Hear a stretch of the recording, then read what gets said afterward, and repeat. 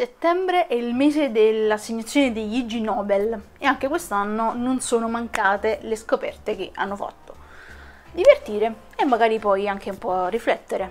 L'anno scorso abbiamo parlato di coltelli fatti con feci umane, quest'anno invece parleremo di pedoni, gatti, fonetica, per scoprire quali sono i vincitori degli Ig Nobel 2021. Ci vediamo dopo la sigla.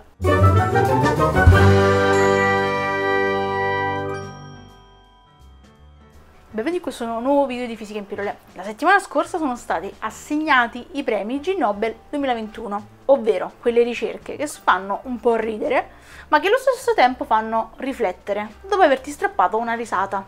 Quest'anno il premio Ig Nobel per la fisica è andato ad un team tutto italiano che ha studiato la dinamica dei pedoni e non quelli sulla scacchiera, ma ha studiato la dinamica di, delle persone che camminano per la strada e il premio è stato assegnato per la ricerca sul perché i pedoni non si scontrano costantemente. Quello che ha fatto il team è stato studiare la dinamica dei singoli pedoni e trovare un'espressione matematica che descriva il loro movimento. Quello che hanno visto è che la dinamica del pedone dipende ovviamente da diversi fattori. Per esempio, la folla che c'è intorno, il luogo dove stanno camminando i pedoni, per esempio in una stazione ferroviaria, dove quindi magari c'è chi va più veloce per non perdere il treno e così via. La cosa essenziale è che i pedoni cambiano costantemente il loro percorso per adattarsi a quello che gli accade intorno e che adatta il proprio percorso per evitare gli altri pedoni. Questo può sembrare banale, ma in realtà avere un'espressione matematica di quello che succede ad un pedone quando cammina è essenziale per tantissime cose. Per esempio, vogliamo costruire una nuova stazione ferroviaria, dobbiamo sapere come si muovono le persone all'interno di una stazione ferroviaria per costruirla al meglio, per evitare incidenti, per agevolare il pedone e la sua esperienza all'interno della stazione ferroviaria, oppure per evitare code eh, in luoghi affollati, quindi l'obiettivo di questo studio è quello di migliorare le infrastrutture, tenendo conto di come si muovono i pedoni. Uno studio simile, ma in realtà complementare a questo, è stato eh, vincitore della sezione IG Nobel 2021 per la cinetica, in cui un team di ricercatori, stavolta giapponese, ha studiato sempre il moto dei pedoni ma ha studiato la loro cinetica. La dicitura per il premio 2021 per questo gruppo di ricercatori è stato lo studio per i pedoni e sul perché a volte si scontrano tra di loro, mentre nell'altro caso era perché non si scontrano costantemente. Quindi da qui possiamo notare la prima differenza tra i due studi. Quello che è stato notato da questo team di ricercatori giapponesi, quello che è stato notato da questo team di ricercatori di un'università giapponese è che i pedoni comunicano tra di loro in maniera non verbale. Grazie alla comunicazione non verbale riescono a capire dove sta andando il pedone che ci si trova davanti e quindi cambiare la propria traiettoria a seconda della, della traiettoria dell'altro pedone. Questo studio è stato fatto studiando due folle di pedoni che andavano nella direzione opposta. Quello che è stato notato è che si creano dei flussi unidirezionali e che la cosa principale, come vi dicevo prima, è la comunicazione non verbale che avviene tra i pedoni.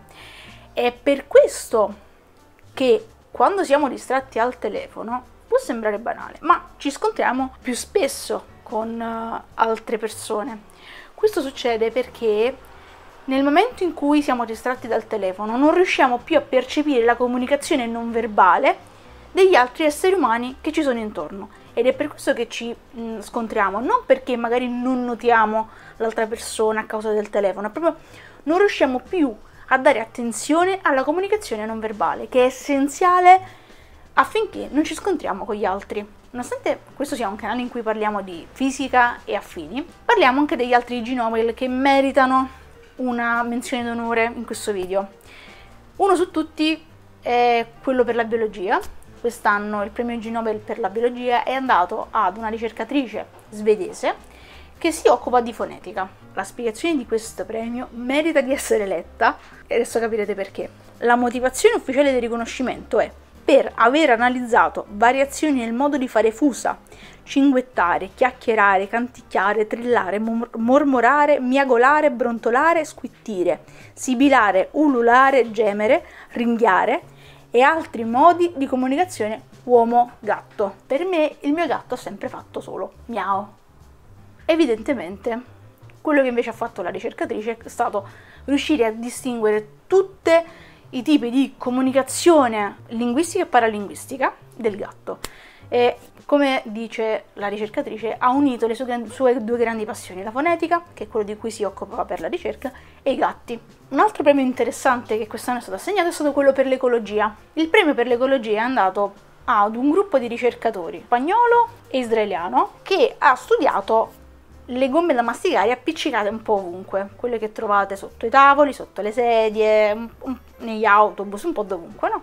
A cosa potrà mai essere servita una cosa del genere? È in realtà uno studio apparentemente inutile, ma allo stesso tempo molto utile, perché grazie a queste gomme sono riusciti a uh, vedere come proliferano i batteri su queste gomme da masticare. Sembra banale, ma questo studio potrebbe servire per lo studio di altre malattie, perché conoscendo come si proliferano, come si evolvono i batteri sulle chewing potrebbe essere utile per scoprire invece come, si, come evolvono alcune malattie. Un altro premio molto carino è stato quello per la chimica. Sono stati studiati i cinema. È un po' di tempo che non andiamo più al cinema, ma sono stati oggetto di questo studio per la chimica, ovvero uh, questo team di ricercatori ha visto che tipi di odore si uh, diffondono durante la visione di un film.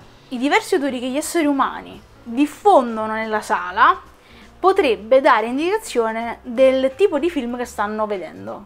Anche in questo caso vi leggo la motivazione, che è molto molto interessante. Il premio è andato al team di ricercatori per aver analizzato chimicamente aria all'interno delle sale cinematografiche per capire se gli odori prodotti dal pubblico possono segnalare in maniera affidabile i livelli di violenza, contenuti sessuali espliciti, comportamento antisociale, uso di droghe e linguaggio volgare nel film proiettato. In base agli odori quindi diffusi dagli esseri umani, si può capire che cosa sta vedendo l'essere umano in quel momento. Questo potrebbe essere effettivamente utile anche al di fuori delle sale cinematografiche. Abbiamo visto non tutti i premi di quest'anno, ma la maggior parte. Noi ci vediamo in un prossimo video.